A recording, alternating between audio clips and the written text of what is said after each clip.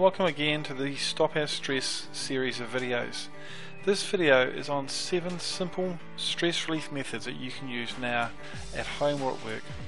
Now the first thing you want to do is reduce stress around you. Avoid watching the news, your current affairs, avoid negative people. You can either declutter your workspace or even your home to make you feel better. Now lying down is a great thing to do as well. Do you realize that gravity is stressful?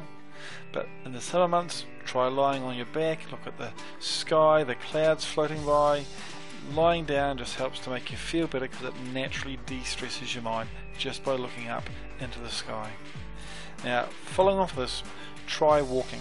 Walking up, same thing, looking at the horizon helps to reduce stress, but get out in the fresh air. Try walking on a beach, a river, just somewhere out in the fresh air as much as you possibly can. And breathing's important. You want to breathe in through your nose and out through your mouth. Slow, deep breathing without any effort. Remember, you're breathing in energy, you're breathing out stress, and breathing's a fantastic way of reducing your stress levels. But smile. Smiling raises your vibrational energy. It makes you feel better. Even when you don't feel like smiling, try smiling. And if you can't smile, watch funny movies, check out YouTube for things to make you laugh but you also want to learn to meditate. Start with the simple steps. Learn how to calm your thoughts.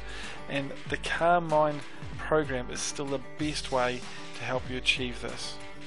Now, a final thing I want you to do now is a simple acupressure point. It's on your forehead. Now you just simply hold the point, don't rub or press it. The point's about 3 inches in size. Now this point will help reduce stress naturally. Try holding it for a few minutes and see how much better you feel but head over to the Stop Our Stress website where we have plenty of articles, tips, techniques on meditation, ways to reduce stress, brain entrainment, and so much more. So enjoy, and we'll see you soon.